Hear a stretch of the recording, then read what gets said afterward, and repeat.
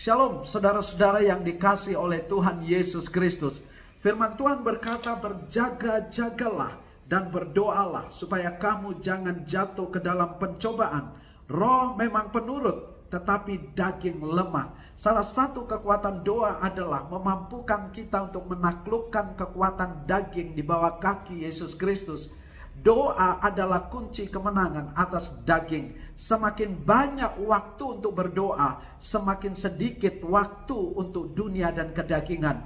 Roh kita berkata, "Aku mau lebih taat lagi, aku mau membangun kehidupan doa lebih lagi." Tetapi kita tidak dapat melakukannya, atau mungkin kita sudah melakukannya, tetapi kita berhenti di tengah jalan karena berbagai macam faktor. Salah satu faktor yang paling kuat adalah kedagingan.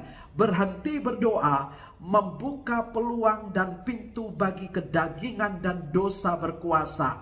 Jika kamu berdosa, kamu berhenti berdoa. Jika kamu berdoa, kamu berhenti berdosa. Tuhan Yesus memberkati. Tetaplah berdoa.